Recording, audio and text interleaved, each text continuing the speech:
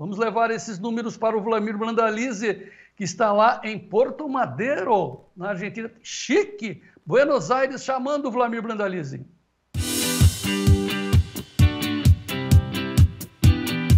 Notícias da soja com Vlamir Brandalize. Apoio Copavel, um show de cooperativa.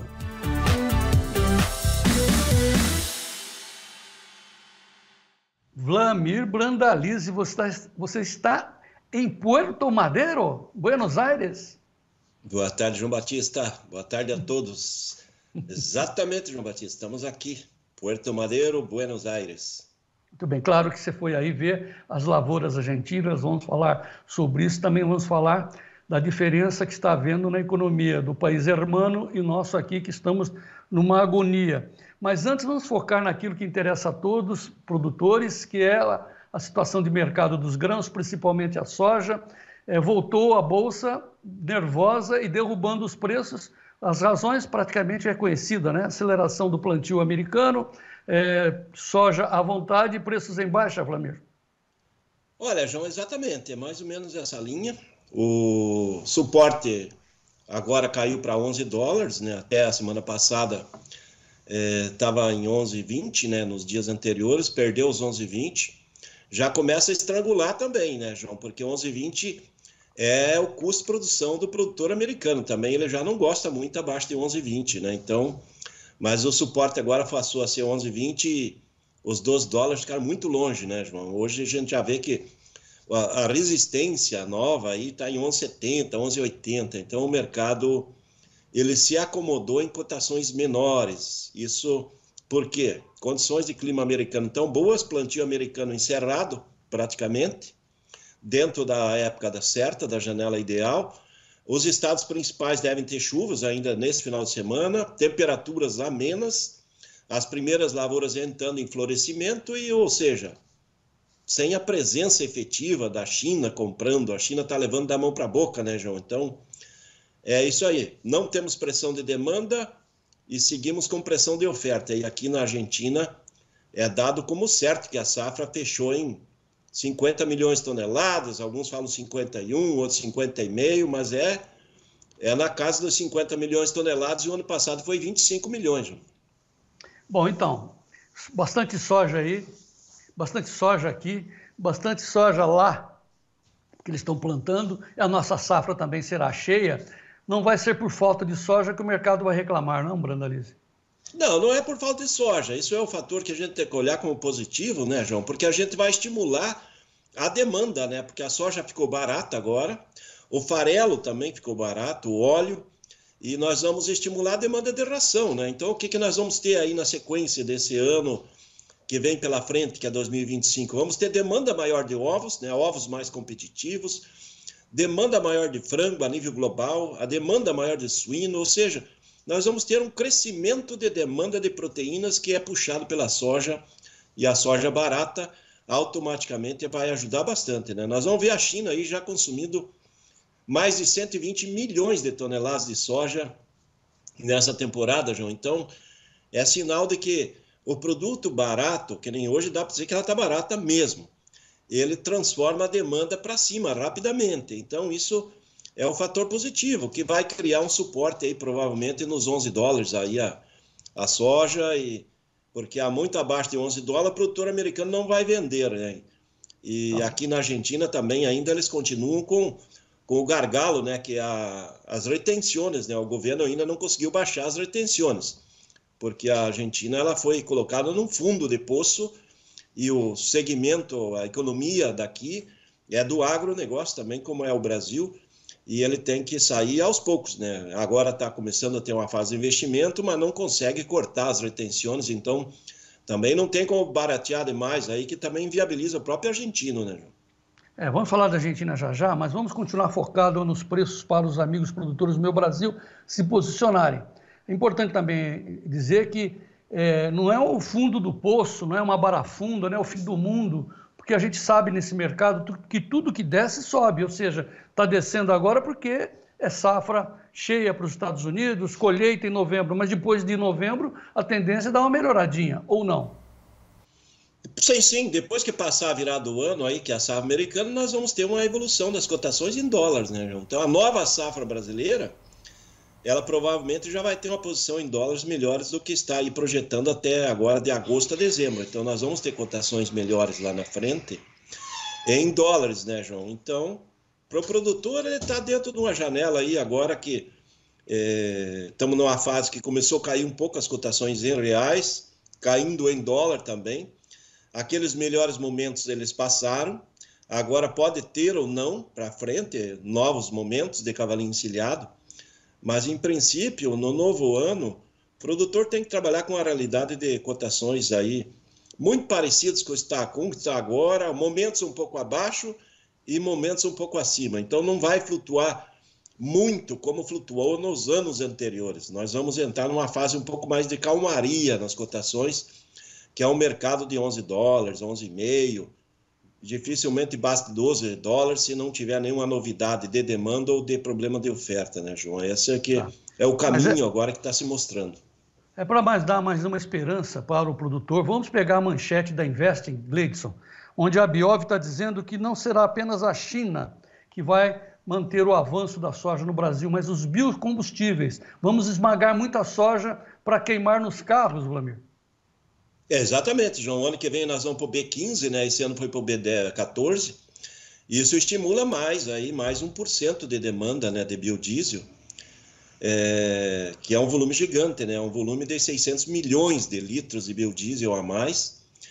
E isso, se a gente transformar em esmagamento de soja, mais alguns milhões de toneladas de soja que vai ter que ser esmagada para tirar o óleo e fazer o biodiesel, que entra na, em 2025, nós entramos na fase, é, chegamos na fase total, né, que é o B15, é, ajudando no consumo da soja e nos demais países globais também. É, está entrando numa fase de melhoria de misturas maiores é, de biocombustíveis, né, João? Então, a soja chegando a um ponto de demanda interna também crescente, né? Nós temos a demanda interna crescendo para biodia, para biocombustíveis e principalmente o setor da ração, né, João? Porque nós estamos batendo o recorde histórico de exportação de frango, de suíno, e vamos continuar. Estamos batendo o recorde histórico de consumo de ovos internamente, e é tudo ração e tudo precisa soja. Tá. Vamos ver os preços para depois a gente falar de onde você está, da economia da Argentina, sobre, com um cara que conhece muito, que é o Vlamir Brandalize. Vlamir, como é que estão os preços, os negócios hoje no Brasil? A Brandalize Consulting está apontando quanto é o preço, qual é o preço no balcão?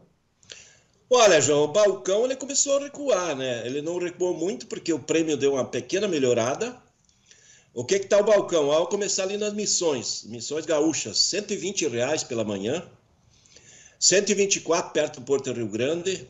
É, mercado trabalhava aí de 5, 6 pontos de baixa em Chicago, agora já está com um pouco mais de queda. É possível que caia um pouco mais. Então, de 120 a 124 é os balcões gaúchos. É, o restante sul e sudeste, 118 a 126.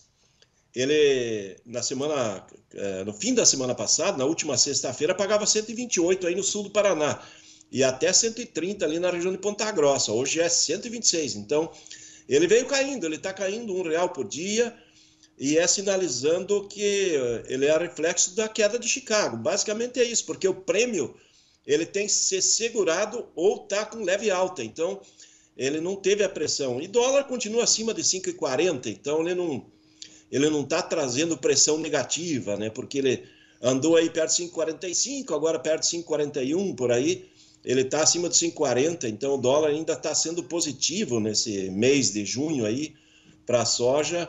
E o que realmente é negativo é basicamente a, a, posição de Chicago, que essa vem em queda e continua ainda dando sinais que pode cair mais. Esse é, esse é, esse é o, única, único problema. Tá, mas vamos confirmar agora os preços dos lotes formados nas cooperativas.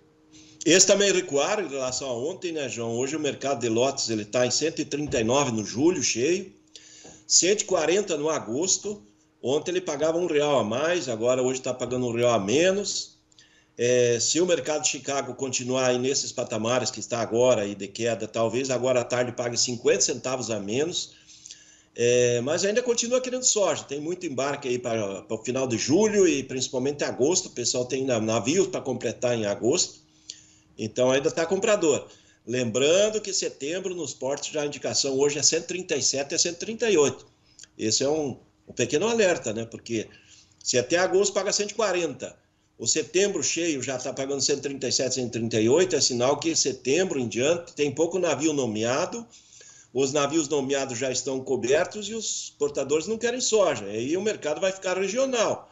Talvez tenha menos liquidez para o produtor e pega uma cotação menor lá na frente, né? Que a gente precisa caixa lá em setembro para pagar conta, pagar insumos, é plantio já, né, João? Então, esse, esse é o alerta. A cotação de setembro nos portos está menor que a posição de julho, julho, julho, agosto e a junho também, né? Então, só ah, esse, esse adendo aí, que é um adendo negativo, mas o produtor tem que estar cauteloso e ficar, porque nós temos muita soja, né? Hoje a nossa comercialização está em 93 milhões e meio de toneladas. E, e nós colhemos 148, então tem muita soja, né? Então é, é isso que dá uma tranquilidade no mercado de exportação, no mercado de demanda interna. O setor de ração interno sabe que vai chegar no fim do ano, vai ter muita soja, sabe que tem muito milho também. Esse pessoal hoje vai bombar na produção, vai ter recorde histórico de produção, porque os insumos para a ração estão baratos, né, João? Então isso é demanda, né? Então ajuda. Só que a, ela não faz a soja é, crescer se Chicago não tiver alta lá fora, lá se não vier alta de Chicago aqui dentro, também não vai ter um reflexo de alta porque não está faltando soja. Sabe muito esse Vlamir, hein? Vlamir, e os prêmios nos portos? Prêmios melhoraram um pouco hoje, João. O pessoal do prêmio agora de manhã me apontou aqui. O comprador quer pagar 40 no, no, no agosto, é, o maior interesse é agosto, e ainda tem um interesse em setembro. 40 do comprador, 70 do vendedor. Ontem o comprador ele pagava 30, 35, era 60 do vendedor. Hoje ele fala 50 no, no setembro, o vendedor é 80. Ontem o setembro o vendedor era 70 e o comprador era 40. Então, nós tivemos uma melhora nos prêmios de 5 a 10 pontos, que dá mais ou menos para compensar essa posição que está tendo de queda lá em Chicago. Muito bem, agora vamos falar do motivo, né? Então, amanhã, amanhã você vai trazer, claro, eh, os resultados de campo da Argentina. Segunda-feira você vai trazer mais números, mas agora vamos falar da economia argentina. Mostramos ontem a comparação entre Brasil e Argentina, entre Lula e Javier Milei. E você hoje foi visitar o centro do poder da Argentina. Você esteve na Plaza de Maio, o centro financeiro político da Argentina. Veja o vídeo que o Vladimir nos mandou. João Batista, pessoal do Tempo Dinheiro, aqui ó, hoje Buenos Aires, quinta-feira. Hoje é, é 20, né? 20 de junho. Estamos aqui na, no centro do poder da Argentina, aqui ó. Aqui ó. Casa Rosada. Ali ao fundo, ó. Banco Central argentino. Aqui do lado, Ministério da Economia, Centro do Poder, bandeirona da Argentina. E o nosso amigo Milei aí, tentando tirar a Argentina do buraco. Já já vamos comentar aí o que a gente está vendo aqui na Argentina de soja e milho. Vamos falar já sobre economia. O, o, dólar, depois do Copom, abriu hoje de manhã, oh, caindo, que beleza, tal, perdeu 1%, agora voltou, está em alta, 5,45 de novo. É, essa intranquilidade continua havendo também aí na, sua, nessa, na Argentina, Vladimir? Olha, João, aqui na Argentina o que a gente sente é que o pessoal está um pouco mais otimista, né? Porque está chegando investimentos, os investidores de fora estão vendo que o governo está fazendo esforço né, para diminuir o tamanho do peso do, do, da máquina pública né, em cima das costas do, da população, né, que isso que pesa e cria inflação e cria pobreza. E aí os investimentos estão chegando, João, e o pessoal está tirando dinheiro de outros lugares, provavelmente está saindo dinheiro do Brasil e está vindo aqui para a Argentina, né? Fato que, se a gente voltar nos governos anteriores, o dinheiro saía daqui e ia para o Brasil. Agora está começando a inverter, né? Porque aqui está se tornando um local de investimento, né? Um parque de investimentos e muito para ser feito, né? A Argentina aqui, a gente rodando aqui dentro de Buenos Aires, ela já foi a melhor economia aqui da América Latina. A Argentina já teve economia até maior que a americana, já foi uma das maiores economias do mundo. E esses governos malucos que tiveram aí no passado deles, eles acabaram empurrando a Argentina, que era um país próspero, rico, para um país pobre, né? Hoje ele está revertendo a situação, provavelmente aí começa a mudar. O país aqui é muito forte, é muito rico, a agricultura é muito forte, a pecuária, eles têm condição de virar o jogo e eu estou sentindo isso que está acontecendo aqui. Tem muita obra, muita, muita obra andando, dinheiro está chegando. Isso é o sinal, o primeiro sinal de que a economia vai virar. É um grande exemplo, né? Que vem do que era considerado maluco. Esse Javier Milei era um louco, o louco. Aí ele provou que na verdade ele é um libertário, libertando a Argentina do peso do Estado, ao contrário do nosso problema aqui, né, Vladimir? Exatamente, João. Ainda tem os reflexos né, do passado, né?